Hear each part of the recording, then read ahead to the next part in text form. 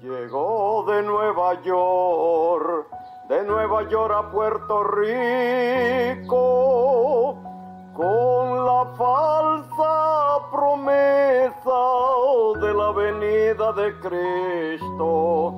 Alejandro Bullón, estafador, con la falsa promesa de la venida de Cristo